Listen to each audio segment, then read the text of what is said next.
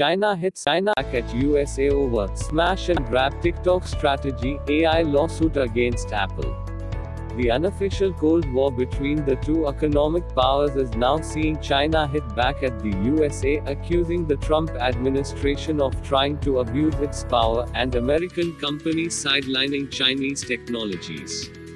Over the past week, reports emerged about ByteDance looking to sell its USA operations of viral social media app TikTok to an American company, with Microsoft emerging as frontrunners.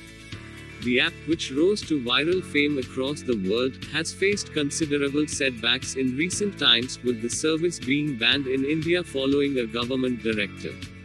While it is seemingly staring at a potential ban in the USA as well, the Chinese government is taking an offensive approach to combat American strong arming, as per a recent editorial published by Global Times, the English newspaper of China's government backed publication People's Daily. The international mouthpiece of the Chinese government has accused the USA of theft, describing the TikTok deal as an act of bullying. It went on to state that China will have plenty of ways to respond should it see the US government force its hand in what it has described as a smash and grab strategy to manipulate a Chinese company operating in America. The narrative also appears to have ruffled sentiments in China, with ByteDance founder CEO Zhang Yiming facing public backlash for being too accommodating and yielding to America's demands. The TikTok USA saga, and the recent Global Times editorial, in particular, signifies what may become the start of the Chinese government hitting back at international pressures. The Chinese government has stated that the USA is using its technological superiority and its relations with its allies to create an unfavorable and biased environment of business for Chinese companies. However, while it cries foul over the Trump administration's tactics, a word from China indicates a direct response to the USA's threats.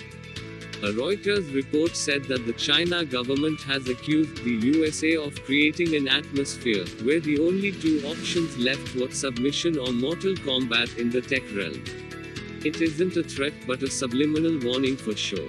China's recent trend of hitting back at the USA further continued with Shanghai Zhizhen Intelligent Network Technology Company, commonly known as Xiao-i. The latter has filed yet another lawsuit against Apple, one of the biggest American and global companies, accusing it of stealing bits from its patents on voice recognition technologies and using them with Apple's digital assistant, Siri.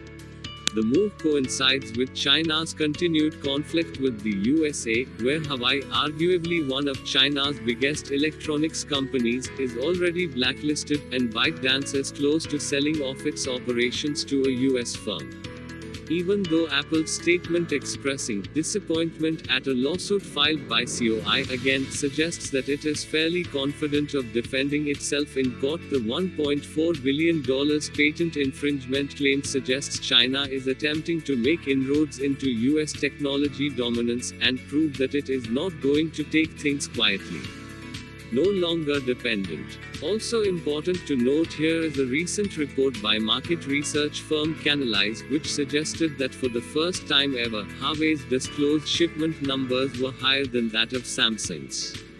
According to the report, Samsung saw a 30% global shipment decline due to the COVID 19 pandemic to clock 53.7 million units shipped in the latest quarter. Huawei, meanwhile, exhibited only a 5% drop to clock 55.8 million units shipped in the same quarter. What's important to note here is the distribution of nations for units shipped. While Samsung is a uniform global player, over 70% of Huawei's shipments come from China only.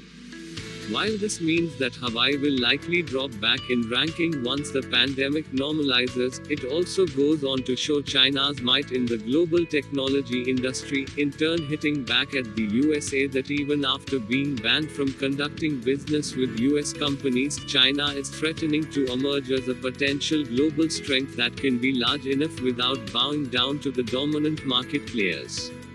Even as US President Donald Trump makes a perplexing demand that the US government treasury should receive a very substantial portion of whatever price Microsoft pays to acquire TikTok's USA business, China's plans are different.